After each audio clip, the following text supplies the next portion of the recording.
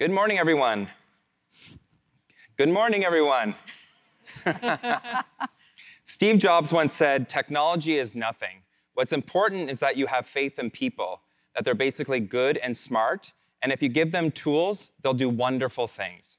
Today's panel is going to look at the use of augmented reality and virtual reality technologies, discussing the value of these tools and what they're bringing to the enterprise and consumer market, as well as looking at what needs to be removed in order for these technologies to realize their full market potential. You have already uh, heard a lot about me. Uh, my name is Tom Emrich, and I will be moderating this panel. With me uh, in this discussion, we have John Ludwig, who is the product lead for VR at HP, Amy Peck, who is the Senior Director of Enterprise Content at HTC Vive, and Silka Miesnieks, who is the Head of Emerging Design at Adobe. Now, before we begin our discussion, I'm going to give each of our panelists some time to introduce themselves to you. Uh, and then I'll, I'll let you in on how you're going to be able to join in on this conversation uh, via an audience Q&A tool that we have going on today. So John, maybe you can start. Cool. Hey all, my name is John Ludwig. I'm the lead product manager at HP for VR. Uh, that means I set our roadmap and I own our business results. Uh, before that HP, I, I grew the uh, Omen gaming business for about three years before we started up the enterprise VR business. Nice. Uh, and I'm Amy Peck. I am at HTC Vive. I'm actually on the content side, so I am focused entirely on solutions for enterprise and really looking at how companies can leverage hardware and software together uh, throughout their workflow. I'm Silka Miesnieks. I'm head of emerging design at Adobe, as Tom said. So my responsibility and what I care deeply about is the tools that we give enterprises, designers in enterprises, uh, to create immersive experiences or experiences using emerging technologies like augmented reality. I've been in this field for about 10 years now. Thank you, everybody. And so we do have some time uh, dedicated to audience Q&A. To make this much more efficient, we're using a web browser app called Slido. So if you have an audience question, uh, throughout the panel discussion, you can go to sli.do or sli.do on your smartphone browser, use the event code 1160 or 1160, and I will be able to see your questions here on my magical device and I'll be weaving them into the conversation as it makes sense. So I think the instructions are behind me. Uh, it's sli.do, and use the event code 1160. I can't wait to hear what you want me to ask. So let's uh, begin our conversation. Uh, you know, in the consumer space, we hear a lot about Beat Saber and Pokemon Go, of course, um, as well as spewing rainbow filters. And at a quick glance, um, the AR VR consumer ecosystem and space could seem like it's just filled with gimmicks and games. Is this really the case, or what other areas are we seeing delivering value for the consumers from these technologies? Well, I'll go first. Let's not slander gaming quite yet. uh, you know, I think we have to split it into two factors: is are we delivering value in terms of you know, revenue for VR and AR, and are we delivering value for humanity in VR AR? if, if all VR AR becomes is gaming, well, that's going to be a $300 billion business in 2025. So we're all going to be okay. We're going to still have jobs, which is awesome. But and you know, there's a lot of companies that just do gaming inputs like mice and keyboards, and they, they do great. So VR AR shouldn't feel worried. But it can be so much more than that for humanity. So when we look at things like training, right? Yes, you can deliver value. It's a $90 billion industry in the US, but how do you improve it for people who aren't getting trained today? VR allows so many more options now for people. Or you look at like PTSD uh, and how well VR is improving the lives of those people.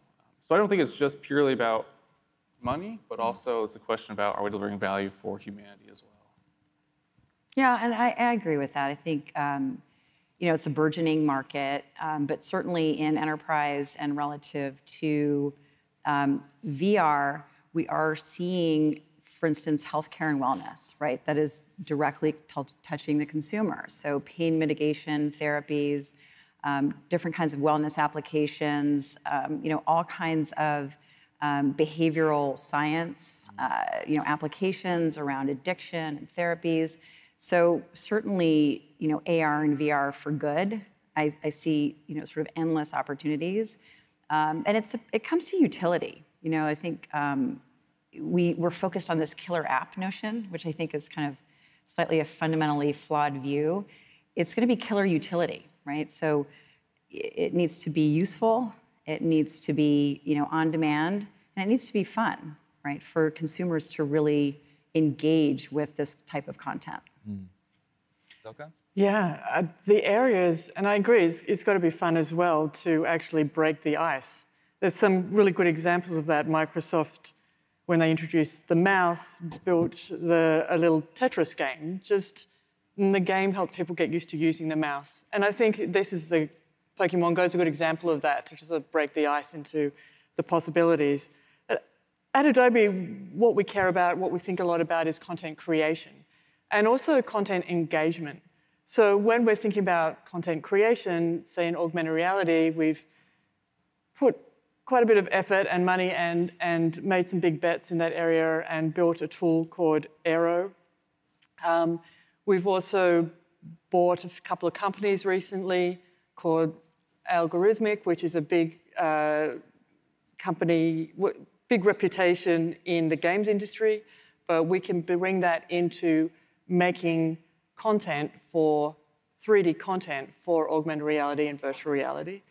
Um, and consumer engagement is, is when we think about how our customers are using the tools that they're, they're creating the experiences using our tools, and then their customers use those experiences.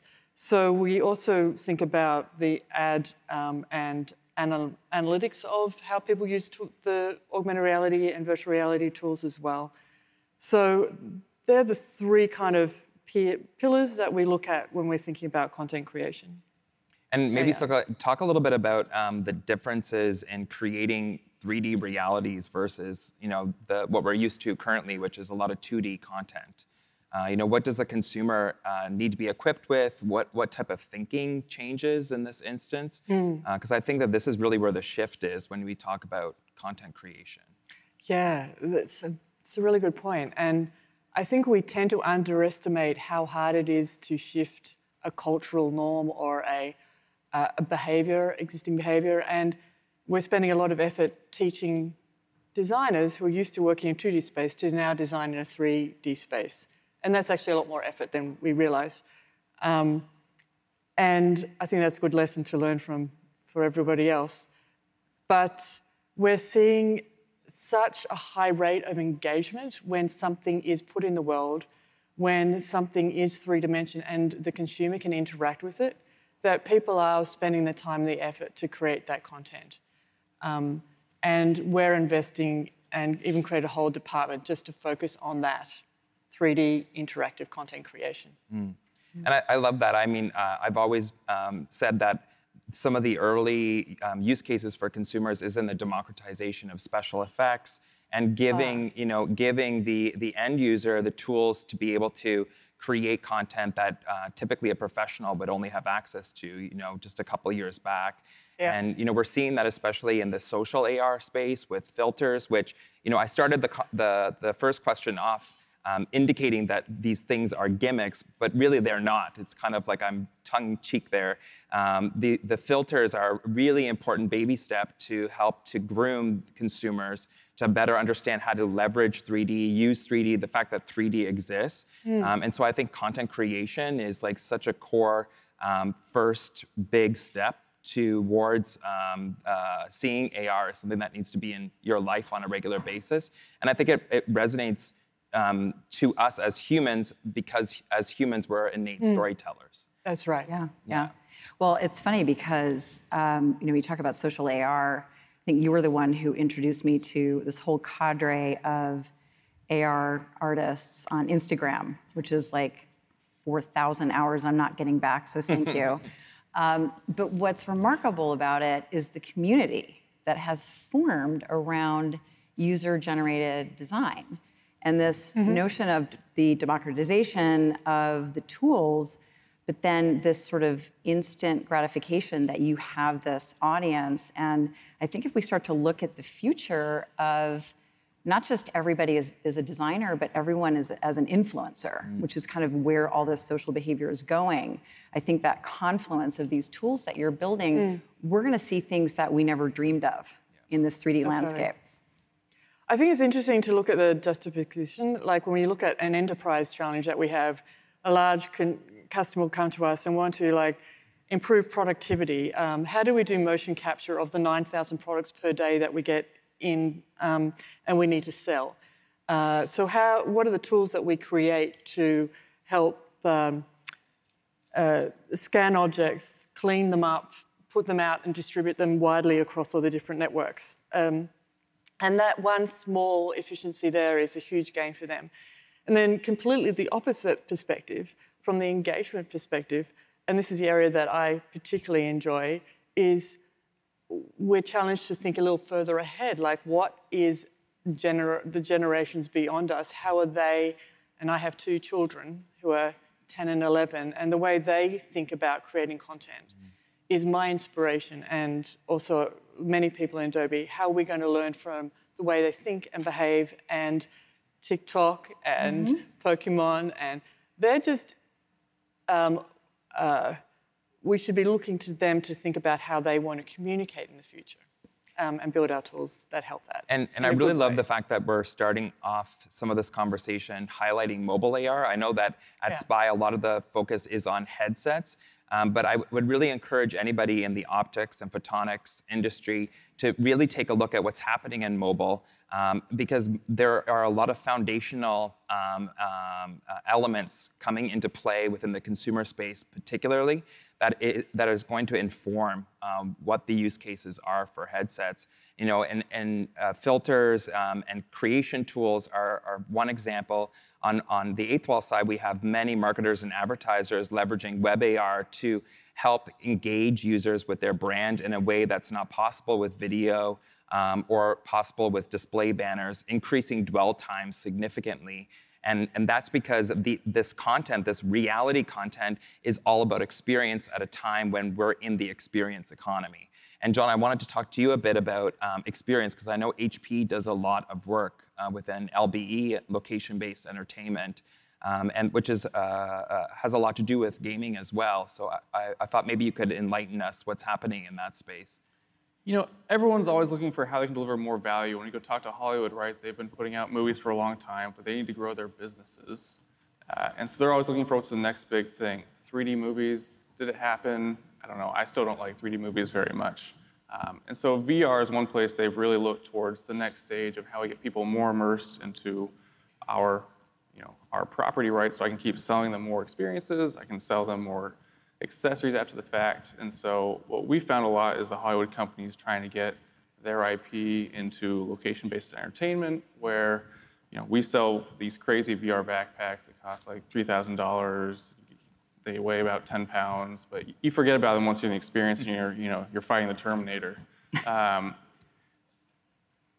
but what's really important to those customers is less so, you know, these people running the LBE is, is how do I deliver the most amazing experience? Because I'm trying to get customers out of their houses, drive out to my location, pay $40 for an hour of entertainment, which is a really tough ask. You have to deliver a lot of value to get a customer to drive all the way to the mall and spend $40. So what we really focused on is, is you know, comfort and improving that you know, resolution and experience so people can be more immersed. And that's kind of where it's at this, these days. And, and that's a good segue into the next uh, part of this discussion on the consumer space that I wanted to talk about, which is the challenges that need to be removed. And this especially, I think, has to do a little bit more with the headsets. Uh, you know, we've seen some leaps and bounds on consumer devices. Um, as you mentioned, John, they're getting more comfortable. Uh, in some cases, they're being, uh, you know, untethered from expensive uh, PCs. Uh, on the AR smart glasses side, dare I say, they're looking a little bit more like glasses, which is a big thing. Uh, but there still seems to be a, a, long ways away for us to get to that point where um, we reach that critical tipping point where these devices are as everyday as smartphones. So, what challenges need to be removed, technology, cultural, or otherwise, um, to help really make uh, AR and VR headsets an everyday occurrence? or well, regular. Well, you. I mean, you referenced Steve Jobs, and I think there's definitely an analogy here because no one was asking for the iPhone. right? No one's really asking, except for us, for the magic wayfarers, right? It's just sort of inkling that it's out there. So we have to consider, you know, in the same way that Silka is really looking at, like, what are those behaviors that we're seeing mm. come out of this next generation? And what is the new social paradigm, right? We, we talk about, you know, the negatives and, oh, this is making us very antisocial. I would argue that this is an opportunity to just change the way we socialize and to kind of get in front of that problem. But, you know, and it's, it's architecture. It was the gentleman, the, the speaker right before us, right? There are elements that we have to solve for, the battery consumption and the optics. Um, but those are all kind of math problems, right? This is what everybody here is solving. What we need to do is sort of create those little stories that people want to see. Mm. And I think it's not just about IP and sort of storytelling and the existing construct. I think it's a blend between designers, um, this game engine mechanics and branching storylines, and Hollywood to create worlds of discovery instead of linear stories, very much like you're seeing in LBE, but much more accessible and much more bite sized. And I think it's an opportunity just to rethink how we tell stories and how we engage consumers on that entertainment side. I want to, I think both of what you said, I totally agree with. And I'm going to, I see it in three different ways. I see it in, and I'll explain them. One is multi-sensory design. Um, the next is what are the policies that are going to be have, have to be created for us to move forward. And I have now forgotten the third because I was thinking about explaining them. so multisensory. I mean, as humans, if somebody can just see, it's hard to communicate with them. If they can just speak, it's hard to communicate with them. If they can just think, it's hard. It's when we combine um, machine sight, machine voice, machine intelligence together, that's when we can really have the human and machine communicating together well. And that's what we're on the sort of brink of seeing that really happen effectively.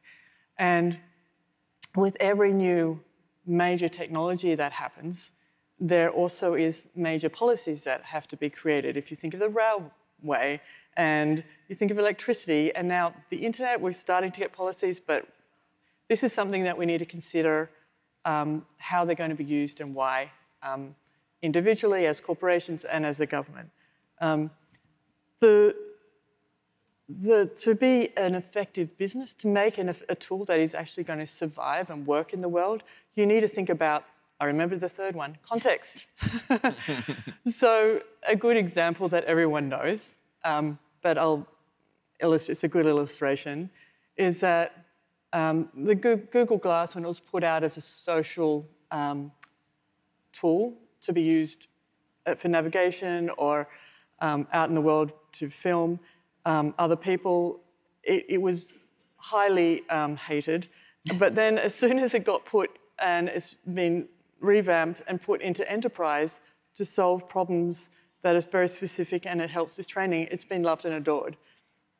So where you put your tool, where the glasses are, is highly, uh, will make it successful or not.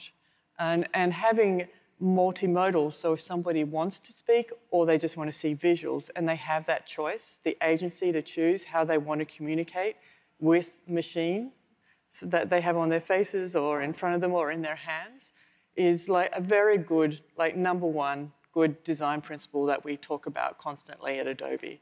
Um, how we're going to give users agency to communicate the way they want in the context that they choose. Um, so there's a design tip, you all. From a more hardware-centric view, because I'm a hardware yeah. guy, uh, it's all about comfort, and that's what's holding back a lot of use cases. And it's comfort both socially as well as physically. Mm-hmm. I mean, mm-hmm. today, VR headsets are mostly just a brick strapped to the front of your face that's just the way it works. And ARs, these big helmets for a lot of times, the ones you can buy. And after about 45 minutes when we do all our testing, you know, most people just want out. No matter how immersive it is, their face is tired from holding up a brick this whole time. Uh, and the way you deliver value is, is how much time you're going to spend in VR. If you want to, or AR, if you want to go have these new amazing experiences you guys are building, you're going to wear it for a longer time. And right now, people just won't uh, because it's not comfortable. Mm. But also on the social side, it's pretty weird to be in VR. Uh, we, you know, we, these days with our headset, you can actually get a decent desktop experience in our headset. And so we've tried working in VR all day long. It's a weird experience. And you get like a jump scare when someone comes to try and talk with you and they like, like tap your shoulder, they don't know what to do. Um, so there's two big issues. One, one, we just have to make these things smaller so people are willing to wear them, but also they have to feel socially comfortable wearing these Yeah. headsets. You know, every time you go and you say you go to an architecture firm and you're like, okay, who wants to do the architecture demo in VR? And all the execs in their suits kind of look around and no one volunteers for a second until you look at them. And until we solve both of those, both comfort socially and ergonomically, mm-hmm. people just aren't going to use this. Yeah, I, and I, I think I really like that you made that point because it sort of goes along the lines of giving people agency. And a good example of a small change that um, the Quest made. Um, who know who's used the Quest? A few hands. A few hands. Um, it's a VR headset, um, but you can now switch between being able to see what's around you and then closed off and see the game that you're about to play. But you can switch between the two, and that is giving somebody a choice, which helps with a bit of that problem. Not at all completely, but that's a, an example of just design decisions that make a big difference. Yeah, I mean, I think that, um, and we started working on this a long time ago when I was at Leap Motion, and we, you know, in our infinite high-tech wisdom, duct taped a Leap Motion to the front of a DK1, but leveraging the pass-through video, not necessarily to just, you know, it's kind of fun, um, not necessarily to see your surroundings, um, but to start on a path where we could dynamically render if some other object came into your field of view. And we would render it in the context of the environment so it wasn't like, oh, there's Tom. Um, you know, it might turn out to be like a tiger or whatever, whatever the environment is, but at least you'd know that there were some things going on and then you could seamlessly switch to that mode. Now, back then, they were webcams and the fidelity was horrifying. Terrible. And if you, I remember. yeah, it was very uh, nausea making, but um, uh, it's, it's, you know, those, um, that fidelity is going to get better and better. And we're going to find, I think, really new and interesting ways to um, kind of really have this sort of true mixed reality. And, and I think also, just speaking of comfort, there's a cultural comfort that needs to be created as well. So I think a lot about the social contracts that are required um, to be built up for both VR, but especially the AR headsets um, that are going to be bringing cameras on people's faces, and then those uh, that face tech be um, you know, worn um, in a world where not everybody has um, that device. And it reminds me a lot of, you know, 2005 when the feature phones started getting cameras, and there was a lot of banning that was done when the feature phones started to get a camera, mostly because there was an imbalance in Yeah. who had a camera, and there was an unease in the fact that there was no discussion may, uh, had on uh, what, what, is, what are the rules, what are the social rules on what happens when everybody has a camera in their pocket. And so I think that there, there's a lot of work to be done um, uh, in building these social contracts, both for the AR headsets, which are bringing um, the, uh, the cameras out into the world, but also just in terms of VR and being shut off from the world and, and what it means and how to make people feel safe enough to be able to be in another reality. Um, and I also think like another thing I keep thinking about with um, headsets in particular is we seem to have a conquer the world or nothing, you know, kind of mentality where, um, you know, we we need to have an all day, everyday device, or we need to always be in VR. Um, and I, I was watching Picard on CBS yesterday, and I was uh, remembering how much I love the, the transporter uh, and how they just use it when they need to use it. And I was like, oh, that's right. That's what you do with tools. You don't always have a knife in your hand. You just use the knife to cut the chicken when you need it. And so I think that there's something to be said about also maybe just thinking about these like this, this, these, uh, these um, valuable reasons to use the device and allowing for those to sing. And then what will happen naturally is a developer ecosystem will grow around that and surprise us as to what these devices are, are to be used Yeah. for. And I think, think we saw that with the smartphone which ironically started at work before I came home, right? Um, as Yeah. a Canadian, um, I remember the BlackBerry story. And this is my really amazing segue into changing the conversation into enterprise. so with the done. time with the time that we have on stage, let's talk about the enterprise. We have organizations that are reporting upwards of 40% efficiencies in the use of AR and VR in, in the workplace. And, and so what, what industry verticals are leveraging AR and VR to upscale their teams? And if you can, like if you have any amazing um, examples to illustrate how this is disrupting work, I think that the audience would love to hear that. You know, two years ago, when we tried to go sell in VR to enterprises, they were, their first question was, you know, sell us. How can we use VR? You get really got to sell. Us. Now it's it's very much a pull motion. We never have to go sell any enterprise on VR, whether it's you know architecture. About I think we did a study about 70% of them say that they have to use VR at this point to win their projects because it's just an expectation from customers that I get to see my building before I actually build it. Wow. I get to make changes. And so it's, it's a very easy selling motion. It's very much a pull now for us, which has been a huge shift. Uh, there's a lot of kind of worry and angst two years ago because we're kind of pushing these things on people and they're kind of pushing back, hey, it's hard to make this work. And now they're saying, okay, we look, whether it's training, whether it's architecture, yes, we have to use VR. Yes, we understand. We've done the POCs. Mm. Now the friction for us is how do we actually scale it? Because they're going beyond now just the kind of weirdos in the corner doing VR to now it's the IT buyer saying, okay, I need to go outfit the whole organization with VR. And you guys focused on gaming and other stuff first, and you don't have, you know, the, the device management tools that you need that we're used to. So it's, it's very much what we see as a growing up industry, and we're going through some of the pains where now the value's there, but we need to go make sure that it's easy for all the IT buyers to actually go utilize this in their enterprise. Yeah, I think scale is the is the key there, and it's this is the same thing we're seeing. It's it's not. Um, it's now also sort of scaling across multiple business lines. So if you look at um, kind of building this economy of scale, and I've talked to Silka about this, begging Adobe to build 3D asset management, basically Lightroom for 3D assets, um, because you really start to see economy of scale when you start to re-leverage those assets and environments and interactions.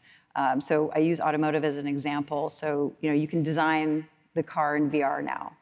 Uh, you can take those assets and those can become um, you know uh, training, you know VR training for those who are going to be on the line building that car. Hmm. And then you can give those same assets to the marketing department so they can pre-sell the car. Hmm. And then you can give those to the dealers where they can put it in the showroom where a consumer can build the car of their dreams using a car configurator. Hmm. And you've built that, you know, those assets and those environments one time, and then you deployed them across the entire business. And we have stories like that, you know, especially in AEC across every industry. So it's not as much a vertical approach as this now is horizontal approach, and you know, really kind of leveraging you know our understanding of 3D, and we still have a long way to go before the consumer. We live in a 3D world, and yet we're used to these 2D images. Yeah. And so, where does that fluency come from? And I know Yeah. you think about that a lot. Yeah, it's completely natural for my two kids. Um, and it's completely natural um, for the generations to come. We're still adapting. We will. we'll get there. And yet we're so young. It's, But we hear you about the um, asset optimization and asset distribution and um, thinking about, we are thinking about our tools more and more as a platform um, or an integrated um, tools rather than siloed tools. And we think that's critical for the future of our business. Um, and it works well in um, one of the challenges for augmented reality and virtual reality is the whole ecosystem needs to work together to some degree to reach mass market. Um, and that's why I think a smartphone was a good example that people completely, completely underestimated text messaging, um, became huge, which now leads, has led to the social um, world we live in in smart mobiles. And I, I think we should be asking ourselves if we are totally underestimated smartphones when they were created in 2000, well, before 2008, but let's just say they launched there with the iPhone. Um, what if AR is going to be the next smartphone and it's going to be as huge? I think it'll be bigger. But even thinking about it on that scale, what is the text messaging app going to be? So thinking big and also thinking small is what we are naturally not very good at. So I'm just encouraging to that that is how I believe we should be thinking about how we grow the market. Um, going back to Adobe, the areas in enterprise that we focus on is in, in retail, entertainment, and ads. The retail industry um, is 3.6 trillion being made in the US alone, but only 500 billion of that is online retail. So the, that's why Amazon's growing 30% per year, Spotify is going through the roof. It's still an untapped market, kind of, even though it's a huge numbers. So we, we are constantly getting pressure. How can we engage our users more? How can we bring them more online? How can we service them? And augmented reality is something that, when the, when the experience is made well, is much easier to understand than current online shopping. You can see the chair in your room and you could just buy it. You know, we're still culturally way behind. We've got a long way to go, but that is kind of the future of retail. Um, and we're thinking about how to build tools and work with our customers to provide them their tools they need as well for their enterprises. Yeah, I think retail is such a great place to, to play yeah. for augmented reality and virtual reality. Yeah. Again, going back to that notion that we've entered the age of experience and the experience economy, mm. retail needing to disrupt itself because of online and mm. um, the the ability just to buy whenever you want, yeah. uh, whatever you want. And so you need to reimagine what, especially the brick and mortar existence of these brands are. Um, you know, I I, uh, I, just had my 42nd birthday and I went to Napa. Congratulations! Oh, thank you. Birthday. And we went to Restoration Hardware Restaurant in uh, Napa. I don't know if anybody has been there, yes. but to me it was mind blowing. It was beautiful, mm-hmm. and it was it was basically me sitting having dinner in their showroom.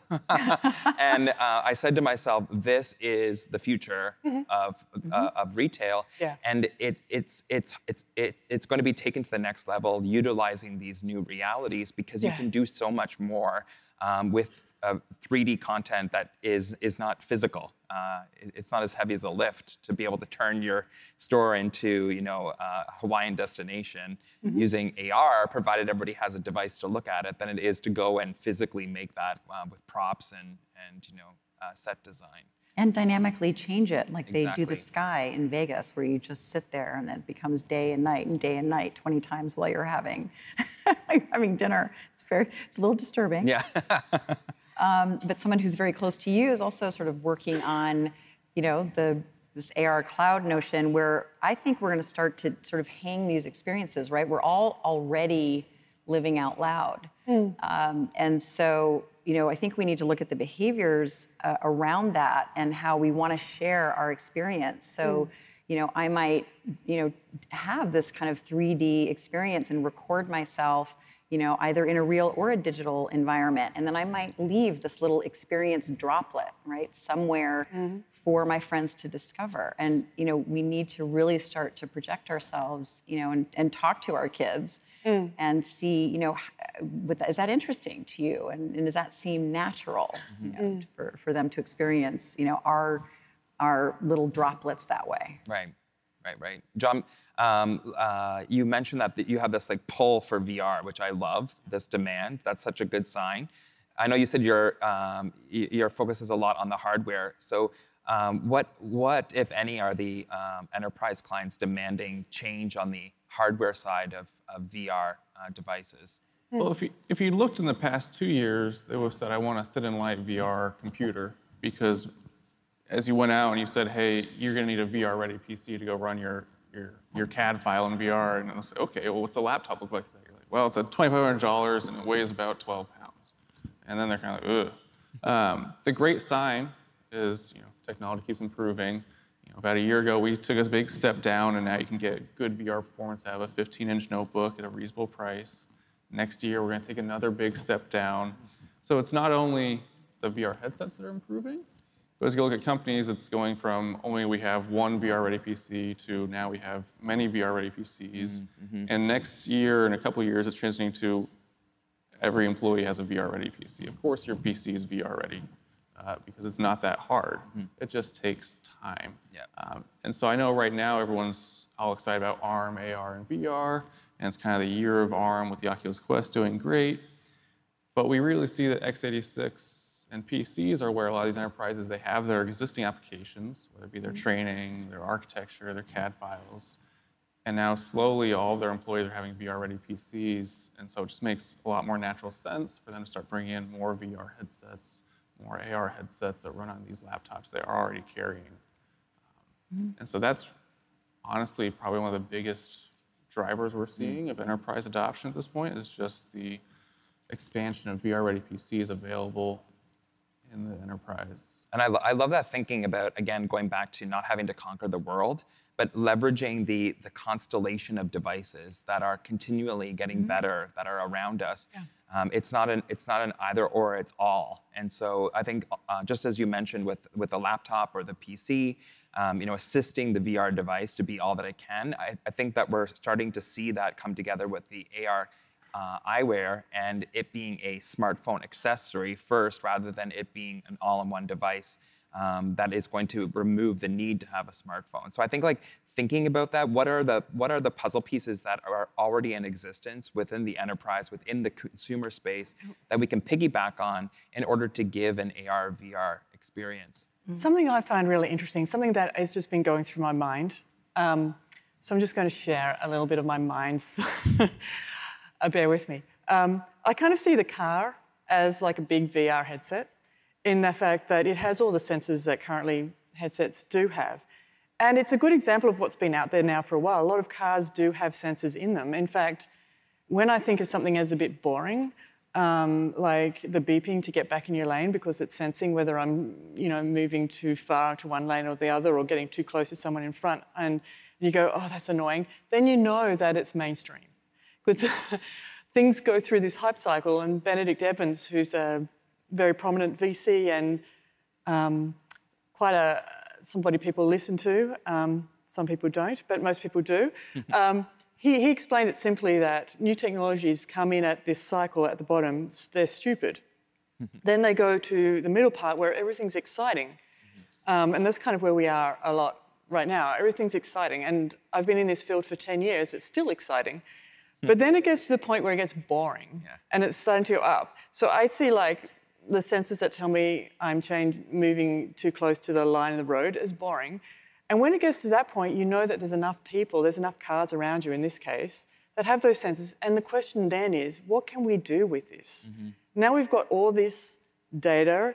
Can we, can the cities now build better infrastructures to make roads safer and cars safer? And like when you start having that sort of ubiquity, then you can start to see like social um, influence these technologies can have in a good way. They also can be bad, but we can make them into a good way if we put our heads together. Um, and so I just wanted to put that thought out there. Yeah, but I think also you touched on something that's really important that we tend to miss because I, you know, I go to these conferences and we have tracks, right? So we're in the AR, VR, MR track, and there might be an AI track, there might be a blockchain track, there might be an autonomous vehicle track. Yeah. The reality is, is that you know it's going to be the confluence of all of these technologies, and you know, so in an autonomous vehicle. You could, you know, if you are truly, when it's truly autonomous, you will be able to change your drive time environment. You will be able to, you know, access uh, your work in your field of view. You'll be able to, you know, you know, have your hologram of your child pop in, and you can play them a game, you know, a game with them. Uh, you know, and then all of this data that the autonomous vehicles are collecting through lidar. You know, they're throwing away data that's not relevant to the scene, but that data they're throwing away is going to true up the AR cloud. And then our transactions and our wants and our needs and our privacy settings uh, will live on the blockchain. And we're going to use AI to sort of be the checks and balance between, you know, the efficacy of all of these programs. So again, not to get too far in front, but I know we talk about this a lot. But it's like we, you know, we need to think about this sort of global change in behavior, leveraging all of this amazing technology at our fingertips. I actually want to ask John. Can I ask you a question? Can you build this for us? Breaking rules. um, is there an example of the sensor for lane changing in enterprise? You can see like even one small thing that is just so widely used, No. as well as you. So it's still early. What was the question? Maybe you can rephrase it, Tom. Uh, I, it's echoey, so I can't hear all the way over here. Uh, can you Okay. repeat it? Is there a system that is being used so much for so long that it's kind of ubiquitous in enterprise? Like, uh,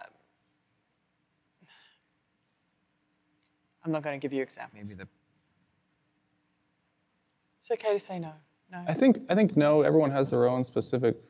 The, the nice thing about VR and AR is that Yeah. they're platforms that go horizontally, and each person they're all using the same headsets today because we only have you only have so many choices, Yeah.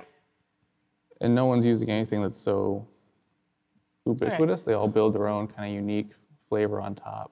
Okay. But I am glad that Silka asked a question because unfortunately, no one from the audience used our Slido. I was checking. Uh, so we did get one question. We've run out of time, and uh, hopefully, uh, we've given you some insight into the user, the consumer user, the enterprise user. Um, if you're working in optics and photonics, I, I love and thank you, Bernard, and, and the organizing team, um, that you've you've put us on stage to uh, seed this discussion and this topic as part of your agenda here at this conference. And I want to thank uh, my panelists here on stage for joining me in this conversation. And hopefully you can find us and, um, and uh, ask us more questions if you, you, you weren't able to use Slido um, out there uh, today. So have a great rest of the conference, everybody. Thank you.